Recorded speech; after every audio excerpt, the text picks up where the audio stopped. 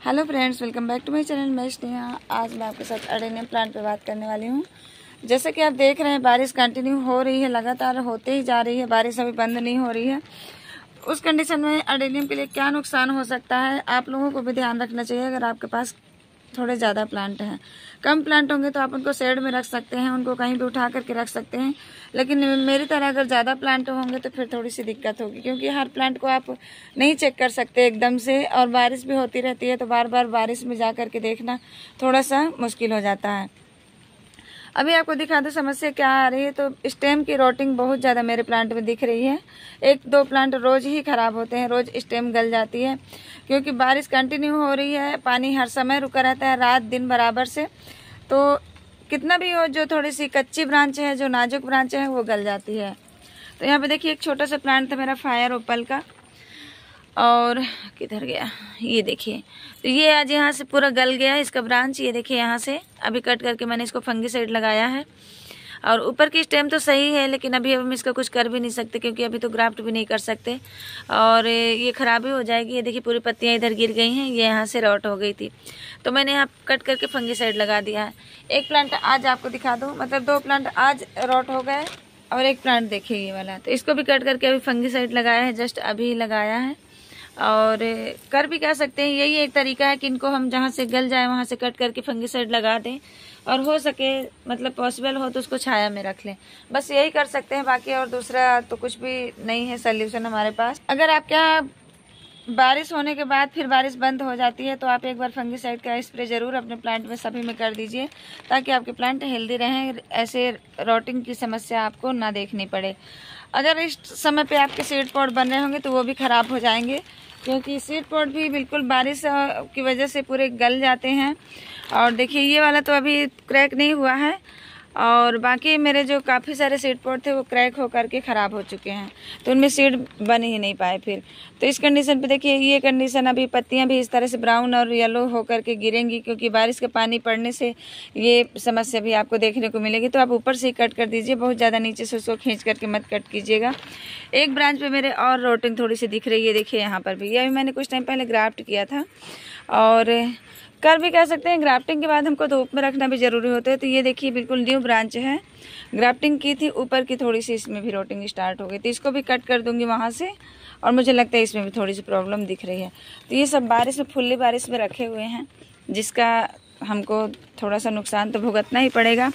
अगर आपके पास पॉसिबल हो तो आप सेड लगवा लीजिए या तो आप इनको किसी पॉलीथीन से भी ऊपर से कवर कर सकते हैं। मैंने भी थोड़ा सा लगाया था पॉलीथीन, लेकिन ऐसा पॉलीथीन लगाने कोई मतलब नहीं। उल्टा और जब पॉलीथीन में पानी भर जाता है ना, ये देखिए, दो टुकड़े में मैंने पॉलीथीन लगाई हुई थी।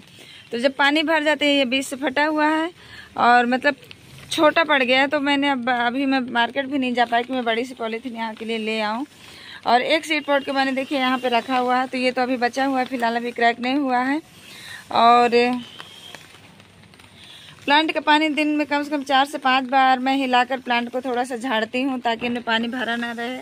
लेकिन देखिए, पीछे सारे प्लांट में अभी पानी बिल्कुल भरा हुआ है क्योंकि बारिश अभी भी हो रही है। तो बस यही देखना है आपको। आप गमले चेक करके देखते रहिए प्लांट में। किसी में आपके प्लांट के मतलब प्लांटर में किसी में पानी रुका हुआ तो नहीं है, नहीं तो दिक्कत हो जाएगी। जिस प्लांट को आपने कट किया होगा ना, उस प्लांट को आप बारिश से ज़रूर बचाइएगा। ये भी मेरा बारिश में ही अभी रखा है, इसको मैं उठा करके अभी छाया में रखने वाली हूँ। ये प्लांट मेरा एक दिन गल गया था कुछ दिन पहले तो कल थोड़ी सी धूप निकली थी तो मैंने उठा के रख दिया था, लेकिन ध्यान नहीं रहा तो आज ये फिर बारिश में पड़ा रह गया। अभी मुझे लगता है कहीं फिर से ना गल जाए। एक प्लांट पे और इसी तरह से इस प्लांट पे दो ब्रांच पे रोटिंग हो गई थी, ये देखिए, यहाँ से कट किया था। तो ये जो रोटिंग की समस्या है, इस तरह की जो बारिश होती है ना कंटिन्यू होती रहती है। एक प्लांट ये देखिए सीड ग्रोन प्लांट है। इस पर भी थोड़ा सा असर हो गया तो यहाँ पर भी मैंने कट करके फंगी लगाया हुआ है। और ये देखिए, कितना पानी भरा हुआ है प्लांट में। तो कितना भी पानी झाड़ेंगे, जब कंटिन्यू बारिश हो रही है तो फिर कोई फ़ायदा नहीं होगा उससे। बस यही है कि आप लोगों को थोड़ा सा ध्यान रखना पड़ेगा गमलों को चेक करते रहिए और प्लांट को भी बीच बीच में चेक करते रहिए। कम से कम जहाँ पे रॉटिंग होगा, वहाँ पे आपको पता तो चलेगा कि आपकी ब्रांच रॉट हो रही है वहाँ से। तो आप उसको कट करके कम से कम फंगी साइड वहाँ पर लगा पाएँगे तो आपका प्लांट ठीक हो जाएगा। मतलब उसके आगे फिर नहीं ख़राब होगा। हाँ उसको सेड में भी आपको रखना पड़ेगा। नहीं तो सेड में नहीं रखेंगे तो वहाँ से गलता ही चला जाएगा आगे जा कर के तो बस यही थोड़ा सा ध्यान दीजिएगा। अगर आपने एडेनियम लगा रखे हैं तो थोड़ा सा प्रिकॉशन ज़रूरी होता है। और नहीं करेंगे तो आपके प्लांट ख़राब हो सकते हैं। इस, अगर इस तरह की बारिश हो रही है। पर मुझे नहीं लगता इतनी ज़्यादा बारिश और कहीं पे हो रही है, क्योंकि हमारे यहाँ इतनी ज़्यादा बारिश हो रही है। ये मैं अपने, अपना एरिया बता दूँ तो बिलासपुर, छत्तीसगढ़ में मैं रहती हूँ और यहाँ पर काफ़ी ज़्यादा बारिश हो रही है। तो तेज़ तो नहीं है कि मूसलाधार बारिश हो रही है, लेकिन कंटिन्यू लगातार मतलब बारिश ऐसे हो रही है कि दिन रात बराबर होती रहती है। बंद नहीं होती एक मिनट के लिए भी। दो चार मिनट के लिए कभी बंद हो जाती है तो बंद हो जाती है, और नहीं तो बराबर से बारिश होती रहती है। तो उस कंडीशन पे हमको इस तरह से ध्यान रखना है। सीडलिंग भी मैंने कुछ रिपोर्ट करी थी जो मेरी ओपन में ही पड़ी है। ये देखिए, पूरे प्लांट मेरे बारिश में ही पड़े हुए हैं। और लोटस कल खिला था, ठीक से खिल, बहुत अच्छे से खिला था। आज ये येलो पियोने भी खिल गया था, ये देखिए। लेकिन बारिश की वजह से पूरा फ्लावर वैसा नहीं खिल पाया जैसा खिलना चाहिए था इसको। और ये देखिए, बारिश की वजह से एक ही दिन में फ्लावर हमारा ख़राब भी हो गया, पूरा भरा हुआ पानी इसके अंदर। एक प्लांट मुझे लगता है और ख़राब होने की कंडीशन पे आ गया है। मैं देखती हूँ चेक करके, पता नहीं इतना ज़्यादा कैसे मतलब मुझे लगता है ये भी रोट हो रहा है, ये देखिए, इसकी कंडीशन कैसे हो गई है। तो चेक करना पड़ेगा, निकाल के थोड़ा। तो ये देखिए सीड ग्राउंड प्लांट है और ये मुझे लगता है गल गया पूरा।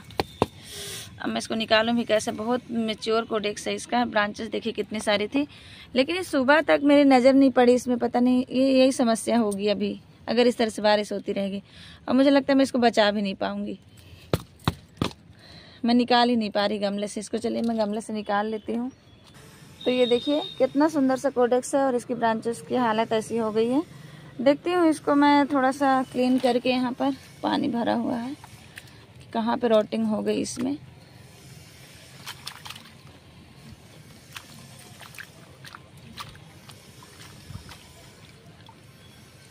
रूट तो पूरी सही सलामत है रूट सही सलामत है, इसकी जो रोटिंग है ना, यहाँ पर हुई है, ये देखिए यहाँ पर। तो हो सकता है कुछ कट करके ट्राई करती हूँ, अगर बच जाए ब्रांचेस भी मैं ऊपर से सारी कट कर दूँगी इसकी। और ये देखिए यहाँ से रोट हुआ है, ये देखिए यहाँ से रोट हो गया है ये। तो पता नहीं नज़र कैसे नहीं गई, नीचे की रूट सारी अच्छी हैं, और सीडलिंग दिखा दूँ अगर तो ये मैंने सीडलिंग जो रिपोर्ट करी थी, इसको मैंने पॉलीथीन से कवर किया था, लेकिन फिर मैंने निकाल दिया क्योंकि थोड़ी सी मुझे लगा कि, क्योंकि मैंने पानी नहीं दिया है, अभी फंगी साइड वाला पानी भी इनमें नहीं दिया था, लेकिन आज ये सुबह से बारिश में ही पड़े हुए हैं। तो सोचा थोड़ा पानी मिल जाएगा और थोड़ा के चक्कर में काफ़ी ज़्यादा पानी इनको मिल चुका है। मैंने पूरा ही ओपन में ही मतलब इनको रख दिया था। और इधर भी देखिए कुछ सीडलिंग मैंने वाइट वाले की भी रिपोर्ट करी थी, जो फुल बारिश में रखे हुए हैं। और नहीं ढक पाई इनको कुछ मैंने इसके नीचे भी रखे थे तो वो भी देखिए बारिश का पानी अच्छा खासा इनको मिल रहा है। तो देखते हैं कितनी बचेगी, कितनी नहीं बचेगी, कुछ कहा नहीं जा सकता, कुछ कर नहीं सकती मैं। मीडिया को मैंने ढक दिया था थोड़ा सा, देखिए पॉलीथीन से। और ये इधर जो प्लांट है मेरे, ये भी इनमें भी दिक्कत हो सकती है। तो इसी तरह से आपको भी एक राउंड ज़रूर लगाना है अपने प्लांट के आसपास, ताकि आप चेक कर सकें कि किसी प्लांट में ज़्यादा अगर दिक्कत हो रही है तो आप उसको सही कर सकें। ये देखिए, मैं अभी जो पॉलीथीन मैंने यहाँ पे थोड़ा सा रखा था ना, इसको मैं कवर कर दूँगी ताकि जो सीडलिंग है मेरी पूरी ओपन में ना